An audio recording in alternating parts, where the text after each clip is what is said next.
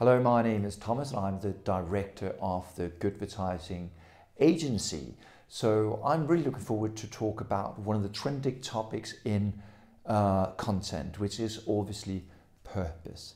And I've written a new book uh, that I'm going to talk a little bit about uh, coming out in May uh, called The Hero Trap, where I'm really going to take um, a hatchet to my old former beliefs in the big why, the big purpose, and actually advocate for a new approach, an enabling approach where it's much more about asking a different question, which is who can you help people become? So much more about this in Amsterdam and can't wait to see you all.